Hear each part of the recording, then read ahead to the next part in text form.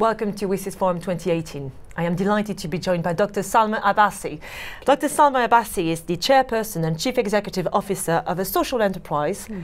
called eWorldwide Group. Mm -hmm. Thank you for joining us. Thank you very much. So, Salma, to start with, what can you tell us about eWorldwide Group? Okay, we are an international company. We work out of Dubai and primarily work with governments in developing countries to meet development goals, previously the MDGs and now the SDGs. And I understand you have been doing a lot of work to include mm. more women in STEM. Yes, absolutely. From schools to elderly women to get them engaged with technology. And actually, one of the biggest challenges we find is the lack of awareness. So the, the second you start showing people the benefit and the relevance, people want to get engaged with STEM. And parents see that there is a future in this for their children. So tell us about your work with WSIS stakeholders. How do you collaborate with other organizations or government oh. to achieve those goals? Uh, it's a big challenge to actually draw together the right stakeholders who can all see. Uh, the word I'm using nowadays is skin in the game.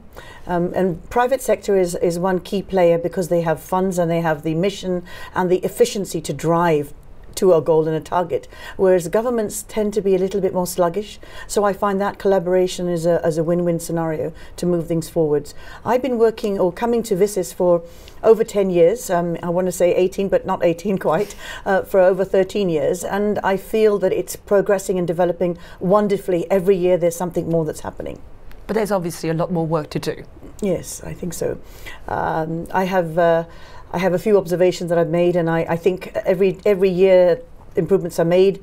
But now I think as we move towards the SDGs, one of the key players that I think we need to bring to the table are two. One are youth, more youth to participate in panels and listen to their experiences and listen to their recommendations on specific SDGs because they will have innovative ideas which will actually be more uh, productive and engageable down into society for traction to get them involved.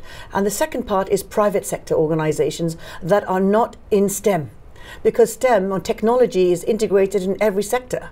For example, a lot of talk is going on about economic empowerment of women at the grassroots using agriculture. So where are the tractor manufacturers? Where are the fertilizers? This all the different ecosystem of agriculture. Those players need to come to the table because they all use technology. That way we can create sustainable models because they need the infrastructure. They will pay for the infrastructure. That gives us access and inclusion for the people.